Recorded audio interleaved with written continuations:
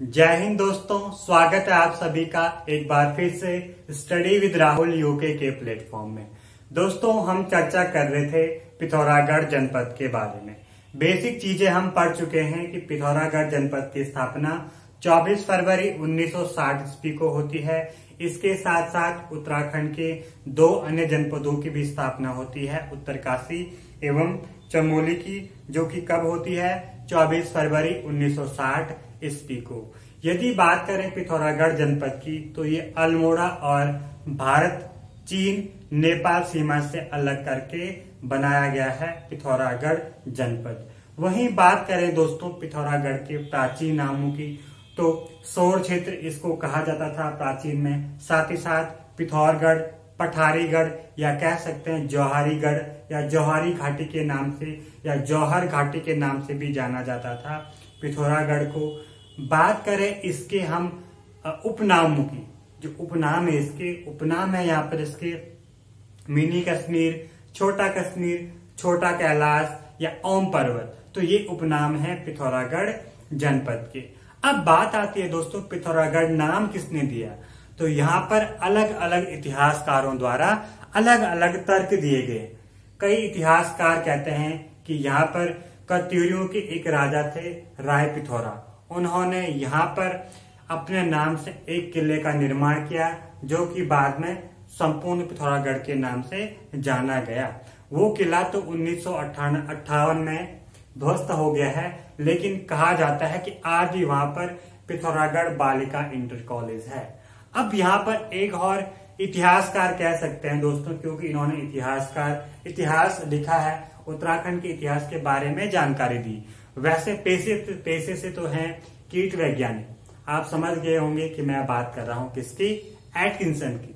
Atkinson जी किस पेशे से क्या है? उनका पेशा एक कीट वैज्ञानिक है, आयरिस कीट वैज्ञानिक। उन्होंने कहा है कि यहाँ पर पिथौरागढ़, जो क्षेत्र है, पिथौरागढ़ की स्थापना पीरू गुसाई ने की है। पीरू गुसाई कौन था? चंद राजाओं का एक सामंत था, अधीन था। उसने पिथौरागढ़ जनपद की स्थापना की है। किसने? पीरू गुसाई ने एटकिंसन के अनुसार। तो ये था बेसिक स्ट्रक्चर ऑफ़ पिथौरागढ़ अब बात आती है दोस्तों पिथौरागढ़ जनपद की सीमाएँ। तो आपको पता है दो अंतरराष्ट्रीय सीमा है पिथौरागढ़ जनपद की। कौन कौन सी? नेपाल एंड चीन तिब्बत। तिब्बत अब वर्तमान में चीन अधिकार क्षेत्र में आ, आता है इसीलिए हम कह सकते हैं चीन और नेपाल। वही बात करें इसकी जो आंतरिक सीमाएँ, अर्थात आंतरिक का मतलब है दोस्तों जो कि अंदर के अन्य जनपदों से सीमा। तो कौन कौन से? चमोली है, बागेश्वर, चंपावत और अल्मोड़ा, चार जनपदों से सीमा लगती है पिथौरागढ़ जनपद की। अब बात आती है यहाँ पर पिथौरागढ़ जनपद की जनसंख्या। जनसंख्या दोस्तों यहाँ पर पिथौरागढ़ जनपद की चार लाख तिरासी हज़ार चार सौ उनचालीस। दोस्तों पिछले लेक्चर में मैंने आपको बाय मिस्टेक पिथौरागढ़ जनपद की जनसंख्या थोड़ा गलत बता दी थी। जो मैंने वहाँ पर जनसंख्या बताई है, बयालीस लाख अट्ठाईस हज़ार नौ सौ अट्ठानबे। वो जनसंख्या है संपूर्ण कुमाऊं मंडल या संपूर्ण कुमाऊं क्षेत्र की। लेकिन पिथौरागढ़ जनपद की जनसंख्या कितनी है? चार लाख तिरासी हज़ार चार सौ उनचालीस। वहीं बात करें इसका क्षेत्रफल तो पिथौरागढ़ जनपद का क्षेत्रफल सात हज़ार नब्बे स्क्वायर किलोमीटर या वर्ग किलोमीटर कह सकते हैं। और क्षेत्रफल की दृष्टि से तीसरा सबसे बड़ा जनपद है पिथौरागढ़। सबसे बड़ा जनपद कौन सा उत्तराखंड का? यह है चमोली। कितना क्षेत्रफल है? आठ हज़ार तीस स्क्वायर किलोमीटर। दोस्तों, चमोली जनपद का क्षेत्रफल। सेकेंड नंबर पे उत्तरकाशी। कितना है उत्तरकाशी का क्षेत्रफल? उत्तरकाशी का क्षेत्रफल है दोस्तों, आठ हज़ार सोलह स्क्वायर किलोमीटर, जो कि हम अच्छे से पढ़ चुके हैं। तो 68 यहाँ पर जन घनत्व है पिथौरागढ़ जनपद का। तो चलिए दोस्तों बेसिक स्ट्रक्चर हो चुका है पिथौरागढ़ का, जो कि हम अच्छे से पढ़ चुके हैं और आई होप आप सभी ने अच्छे से नोट भी कर लिए होंगे दोस्तों, ये सारे पॉइंट या इससे पिछले लेक्चर के पॉइंट तो चलिए, सबसे पहले बात करते हैं दोस्तों यहाँ पर पिथौरागढ़ जनपद की गुफाएँ। कौन कौन सी गुफाएँ हैं यहाँ पर? क्योंकि गुफाएँ भी एग्जामिनर एग्ज़ाम में पूछता है। पूछ लेता है कि निम्नलिखित में से कौन सी गुफा यहाँ पर है या नहीं है। तो वहाँ पे भी चार ऑप्शन होते हैं आपको, जो कि उनमें से आपको एक आंसर पे क्लिक करना है। तो चलिए दोस्तों, सबसे पहले बात करते हैं। स्वधम गुफा, सुमेरु गुफा, धर्मजाली गुफा, कमलेश्वर गुफा पाखो उड़ियार। पाखो के नाम से यहाँ पर एक क्या है? तहसील भी है। शिव गुफा शैलेश्वर गुफा, मुक्तेश्वर गुफा, छेनी गुफा ये है दोस्तों मुंशियारी क्षेत्र में। राजा रानी गुफा, पाताल भुवनेश्वर गुफा। अब देखिए, एक बार रिपीट कर लेते हैं। स्वधर्म गुफा, कौन सी है? सॉरी स्वधर्म गुफा, सुमेरु गुफा, धर्मजाली गुफा, कमलेश्वर गुफा, पाखो उड़ियार, शिव गुफा, शैलेश्वर गुफा, मुक्तेश्वर गुफा, छीनी गुफा, राजा रानी गुफा और पाताल भुवनेश्वर गुफा। दोस्तों पाताल, भुवनेश्वर गुफा की तुलना महाराष्ट्र की एलोरा गुफाओं से भी किया जाता है। किससे? जो एलोरा की गुफाएँ हैं महाराष्ट्र की, उनसे भी पाताल, भुवनेश्वर गुफा की तुलना की जाती है। उनके समान माना जाता है, क्योंकि यहाँ पर माना जाता है कि 33 करोड़ देवी देवताओं का निवास है। 33 करोड़ देवी देवताओं का निवास। तो पाताल, भुवनेश्वर गुफा की तुलना किससे की जाती है? महाराष्ट्र की एलोरा गुफा से की जाती है। ठीक है? कि माना जाता है 33 करोड़ देवी देवता यहाँ पर निवास करते हैं। तो ये थे यहाँ के प्रमुख गुफाएँ। क्वेश्चन किस प्रकार बनता है एग्ज़ाम में? कि निम्नलिखित में से कौन सी गुफा पिथौरागढ़ जनपद में नहीं है? तीन इनमें से दे देगा। शिव गुफा, शैलेश्वर गुफा, मुक्तेश्वर गुफा और एक अन्य गुफा पूछ लेगा लाखो उड़ियार तो वहाँ पे आंसर क्या हो जाएगा? लाखो उड़ियार तो ध्यान रखना दोस्तों गुफाएँ भी एग्जामिनर पूछता है। अब बात करते हैं दोस्तों यहाँ पर पिथौरागढ़ जनपद की प्रमुख बुग्याल। किसकी? बुग्यालों के बारे में। सबसे पहले बात आती है छिपला केदार बुग्याल। किसकी? छिपला कोट बुग्याल। छिपला केदार दोस्तों मंदिर है पिथौरागढ़ जनपद में और मेला भी लगता है वहाँ पर। पहला बुग्याल छिपला कोट बुग्याल, लाड़ी, लड़ी पांगती बुग्याल रुई बुग्याल, काला मुनि बुग्याल, धनिया बुग्याल, राता पानी बुग्याल, रहाली बुग्याल, गैरधार व वणिक बुग्याल, थाला बुग्याल और बरम बुग्याल। कौन कौन से बुग्याल हैं पिथौरागढ़ जनपद में? छिपलाकोट बुग्याल, लड़ी पांगती बुग्याल, रुई बुग्याल, धनिया बुग्याल, राता पानी बुग्याल, रहाली बुग्याल, गैरधार और वणिक बुग्याल थाला बुग्याल और बरम बुग्याल, जो कि आपको याद रखने। क्वेश्चन किस प्रकार बनेंगे? मैं बता चुका हूँ कि निम्नलिखित में से कौन सा बुग्याल कहाँ पर नहीं है? पिथौरागढ़ जनपद में नहीं है या है? तीन अन्य बुग्याल होंगे और एक इनमें से तो एक हो जाएगा राइट आंसर यदि पूछता है कि निम्नलिखित में से कौन सा बुग्याल टीरी जन सॉरी पिथौरागढ़ जनपद में स्थित नहीं है तीन यहाँ से दे देगा ऑप्शन राधा पानी रहाली गैरधार और एक अन्य बुग्याल दे देगा आपको, बेदनी बुग्याल। बेदनी बुग्याल कहाँ पर है? चमोली जनपद में। और उत्तराखंड के क्षेत्रफल की दृष्टि से सबसे बड़ा बुग्याल कौन सा है? बेदनी बुग्याल, जो कि चमोली जनपद में स्थित है। तो बुग्याल भी काफ़ी इंपॉर्टेंट है दोस्तों एग्ज़ाम की दृष्टि से। नेक्स्ट बात करते हैं दोस्तों, यहाँ के प्रमुख जल प्रपात जल प्रपात को कहते हैं वाटरफॉल या झरना। गढ़वाली की बात करें तो गढ़वाली में छाड़ा कहते हैं, छाड़ा। जब पानी ऊपर से गिरता है ना तो क्या कहते हैं उसको? छाड़ा कहते हैं गढ़वाली भाषा में। तो हम बात करते हैं यहाँ पर जल प्रपात के बारे में। पिथौरागढ़ जनपद के प्रमुख जल प्रपात सबसे पहले बात करते हैं दोस्तों, विरथी जल प्रपात विरथी विरथी जल प्रपात कहाँ पर है? मुंशियारी में और चार हज़ार सॉरी चार सौ फीट की ऊंचाई से गिरता है। कौन सा? ये वाटरफॉल विरती जो कि मुंशियारी जनपद मुंशियारी में स्थित है। नेक्स्ट है, गरुड़ जलप्रपात ये है बेरी नाग के पास बेरी नाग वहाँ पर ब्लॉक है, और ब्लॉक के साथ साथ तहसील भी है। तो बेरी नाग में कौन सा है? गरुड़ जलप्रपात है। दोस्तों, मैंने आपको बताया था कि बेरी नाग झील जम्मू कश्मीर की फ़ेमस झील है। उसके जो बगल में झील है, यानी बेरी नाग झील है जम्मू कश्मीर में। उसके बगल में एक झील है, शेषनाग।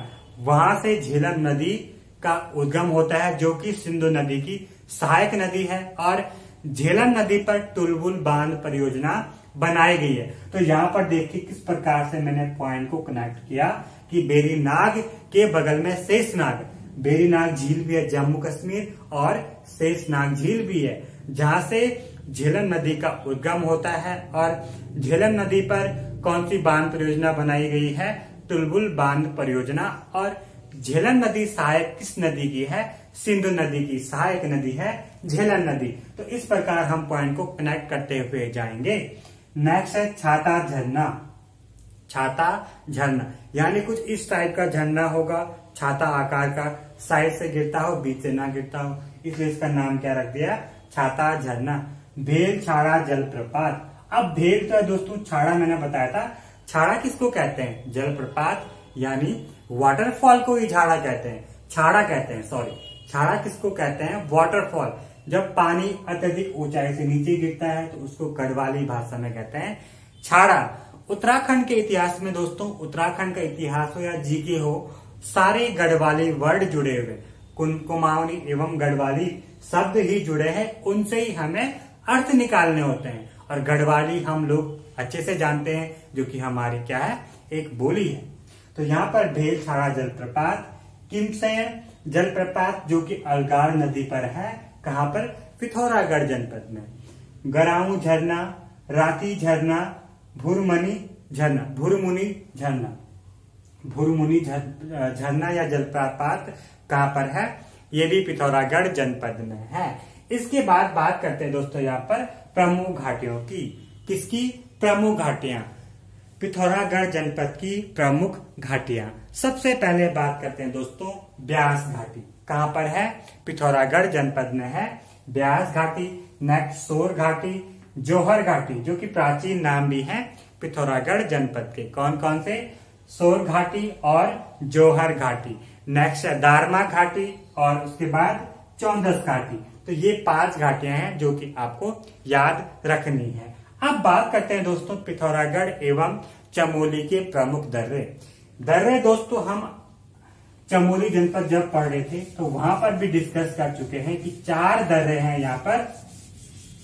इसके बीच पिथौरागढ़ एवं चमोली के बीच, जो कि एग्ज़ाम की दृष्टि से बहुत इंपॉर्टेंट है। एग्ज़ाम में दर्रे बहुत ज़्यादा पूछे जाते हैं दोस्तों, चाहे वो हिमाचल और उत्तरकाशी के बीच श्रीकंठ दर्रा हो, या उत्तरकाशी या चीन के बीच स्थित दर्रे हो, या पिथौरागढ़ चीन के बीच दर्रे हो, या चमोली बागेश्वर के बीच दर्रे हो, या चमोली और चीन के बीच दर्रे हो। तो हम बात करते हैं दोस्तों यहाँ पर चमोली एवं पिथौरागढ़ के बीच प्रमुख दर्रे। सबसे पहला दर्रा है दोस्तों बारह होती बारह होती किस किस के बीच है? पिथौरागढ़ एवं चमोली के बीच है बारह होती दर्रा। उसके बाद है मार्च योग। कौन सा दर्रा? मार्च योग, जो कि किसके बीच है? ये भी दोस्तों पिथौरागढ़ एवं चमोली जनपद के बीच है। अब है नेक्स्ट लातूधुरा। लातूधुरा दर्रा। किसके बीच है? पिथौरागढ़ एवं चमोली के बीच। अब लास्ट है इसमें, सुंदर ढूँगा। सुंदर ढूँगा। सॉरी दोस्तों टोपी धुरा टोपी धुरा लातू ढूँगा और टोपी धुरा दर्रा है इसके बीच पिथौरागढ़ एवं चमोली के बीच। तो ये चार इंपॉर्टेंट दर्रे हैं, जो कि आपको याद रखने। एग्जामिनर पूछ सकता है कि निम्नलिखित में से कौन सा दर्रा चमोली एवं पिथौरागढ़ के बीच है। आपको अलग अलग दर्रे दिए जाएँगी, सान, कुचला, थांगला या ब्यांगला कह सकते हैं या श्रीकंठ दर्रा और एक ऑप्शन में दे दिया मार्च योग। तो आंसर क्या हो जाएगा? मार्च योग दर रहा है। किसके बीच पिथौरागढ़ एवं चमोली जनपद के बीच। वहीं बागेश्वर और चमोली जनपद के बीच की बात करें तो कौन सा दर्रा है? सुंदर ढूँगा दर्रा है, बागेश्वर और चमोली के बीच। चमोली और चीन के बीच नीति दर्रा माणा दर्रा लमलम तंजुम दर्रा काफ़ी सारे दर्रे हैं जो कि हम डिस्कस कर चुके हैं और इम्पोर्टेंट भी हैं, आपको सारे पढ़ने हैं। तो ये हो गए चार इंपॉर्टेंट दर्रे, चमोली एवं पिथौरागढ़ के बीच। अब बात करते हैं दोस्तों यहाँ पर पिथौरागढ़ जनपद के प्रमुख पर्वत। यहाँ पर सबसे पहले बात करते हैं किसके बारे में? पर्वतों के बारे में। अभी तक हम गुफाओं के बारे में डिस्कस कर चुके हैं। कौन कौन सी गुफाएँ हैं? कहाँ पर? पिथौरागढ़ जनपद में। तो चलिए दोस्तों, अब बात करते हैं यहाँ पर प्रमुख पर्वत। पर्वत आपको पता है किसे कहते हैं दोस्तों? धरा, धरातल से ऊपर उठी हुई चोटी या एक हज़ार मीटर से ऊपर की चोटी क्या कहलाती है? पर्वत कहलाती है। तो चलिए दोस्तों, बात करते हैं पिथौरागढ़ जनपद के पर्वत आपको पता है दोस्तों कि उत्तराखंड की सबसे ऊँची चोटी कौन सी है? नंदा देवी पश्चिम। इसकी ऊंचाई कितनी है दोस्तों? नंदा देवी पश्चिम की ऊंचाई कितनी है? सात हज़ार आठ सौ सत्रह है। किसकी? नंदा देवी पश्चिम की ऊंचाई, जो कि उत्तराखंड के, उत्तराखंड की सबसे ऊँची चोटी है। अब बात करते हैं दोस्तों, पिथौरागढ़ जनपद के प्रमुख पर्वत। तो सबसे पहले बात करते हैं पंचाचूली पर्वत। पंचाचूली पर्वत।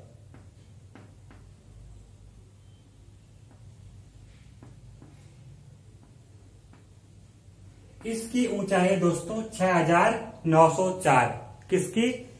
पंचाचूली पर्वत की ऊंचाई है 6904 मीटर और यह दोस्तों गोरी गंगा और धौली गंगा नदी के बीच। यहाँ पर पूर्वी धौली गंगा होगी क्योंकि पश्चिमी धौली गंगा कहाँ पर बह रही है? आपके चमोली जनपद से होते हुए बह रही है। तो यहाँ पर होगी गोरी गंगा गोरी गंगा और धौली गंगा कौन सी? पूर्वी धौली गंगा। पूर्वी धौली गंगा के बीच है कौन सा दोस्तों? पंचाचोली पर्वत, जिसकी ऊंचाई कितनी है? 6904 मीटर। तो आपको ध्यान रखना दोस्तों, पंचाचोली गोरी व धौली धौली पूर्वी धौली गंगा नदी के बीच स्थित है। ऊंचाई कितनी है? 6904 मीटर है दोस्तों, पंचाचोली पर्वत की ऊंचाई। नेक्स्ट बात करते हैं नंदाकोट पर्वत। नंदाकोट पर्वत। इसकी ऊंचाई दोस्तों छह हज़ार आठ सौ इकसठ मीटर। जो नंदाकोट पर्वत है, उसकी ऊंचाई कितनी है? छह हज़ार आठ सौ इकसठ मीटर। और ये पिथौरागढ़ एवं चमोली के बीच है। या बॉर्डर पे कह सकते ये बॉर्डर है जैसे चमोली और पिथौरागढ़। तो यहाँ पर है आपका कौन सा? नंदाकोट पर्वत, जिसकी ऊंचाई छह हज़ार आठ सौ इकसठ मीटर है। किसके बीच? चमोली एवं पिथौरागढ़ जनपद के बीच। बात करता है नंदा खाट। नंदा खाट भी पर्वत, आप जानते हैं। नंदा खाट। नंदा खाट कहाँ पर है? ये है दोस्तों बागेश्वर में। नंदा खाट कहाँ पर है? बागेश्वर। तो ध्यान रखना कंफ्यूज मत होना। नंदा कोट कहाँ पर है? नंदा कोट है पिथौरागढ़ और चमोली की सीमा पर और नंदा कोट नंदा खाट कहाँ पर है? बागेश्वर जनपद में। वहीं बात करते हैं नेक्स्ट तारा पहाड़। एक और इम्पोर्टेंट है, तारा पहाड़। ये कहाँ पर है? ये भी पिथौरागढ़ जनपद में स्थित है। अब बात करते हैं नेक्स्ट बेटुली धार पर्वत। कौन सा? बेटुली धार पर्वत। ये कहाँ पर है दोस्तों? ये है आपके मुंशियारी में। कहा पर? मुंशियारी जो कि आपकी एक ब्लॉक है, पिथौरागढ़ जनपद का। तो मुंशियारी में कौन सा है दोस्तों? बेटुलीधार पर्वत। अब बात करते हैं दोस्तों, हरदेव चोटी। हरदेवल या हरदेव चोटी की बात करते हैं।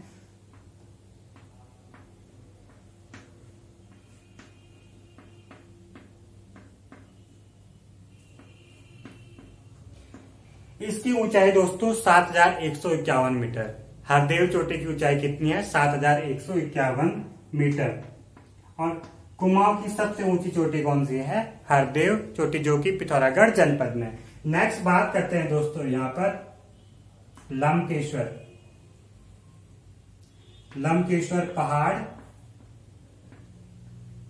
या कह सकते हैं इसको शैलेश्वर पहाड़। लमकेश्वर पहाड़ को शैलेश्वर पहाड़ भी कहा जाता है। शैलेश्वर। शैलेश्वर पहाड़ के नाम से भी जाना जाता है लमकेश्वर पर्वत या पहाड़ कह सकते हैं। नेक्स्ट है दोस्तों मृंग तुंग पर्वत। मृंग तुंग पर्वत कहाँ पर है? ये भी पिथौरागढ़ जनपद में मृंग तुंग पर्वत। कहाँ पर है? ये भी आपके पिथौरागढ़ जनपद में है मृंग तुंग पर्वत। नेक्स्ट बात करते हैं दोस्तों यहाँ के पीक पॉइंट की। पीक पॉइंट का मतलब क्या होता है दोस्तों? पीक पॉइंट का मीनिंग होता है कि जो पर्वत से थोड़ा नीचे हो। मतलब पर्वत चोटी से थोड़ा नीचे है, उसे कहते हैं पीक पॉइंट। तो सबसे पहले लिख लेता हूँ यहाँ पर पीक पॉइंट।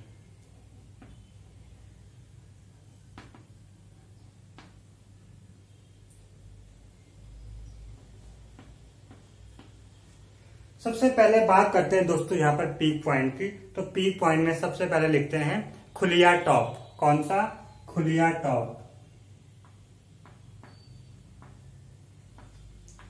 खुलिया टॉप। ये कहाँ पर है? ये है दोस्तों मुंशियारी में। कहाँ पर? मुंशियारी में है खुलिया टॉप और यहाँ पर ट्रैकिंग की जाती है। ट्रैकिंग स्थल माना जाता है किसको? खुलिया टॉप को। और खुलिया टॉप कहाँ पर है? मुंशियारी पिथौरागढ़ में। नेक्स्ट बात करते हैं दोस्तों यहाँ पर। चौधरी चोटी सॉरी चौधरा चोटी। ये भी कहाँ पर है? ये भी आपके पिथौरागढ़ में। नेक्स्ट बात करते हैं सूली टॉप। सूली टॉप। या सूली पीक कह सकते हैं इसको। नेक्स्ट है दोस्तों नागलफ नागलफ चोटी कह सकते हैं या पीक कह सकते हैं इसको। कौन सी? नागलफ चोटी। नेक्स्ट बात करते हैं दोस्तों यहाँ पर। कुचेला धुरा पीक। कुचेला धुरा पीक कहाँ पर है? ये भी पिथौरागढ़ जनपद में स्थित है, कुचेला धुरा पीक। उसके बाद बात करते हैं बुरफुधरा। बुरफुधरा पीक। ये सारी चोटियाँ या पीक कहाँ पर हैं? ये है आपके पिथौरागढ़ जनपद में। तो ध्यान रखना दोस्तों, एग्ज़ाम की दृष्टि से काफ़ी इंपॉर्टेंट है और एग्ज़ाम में पूछी जाती है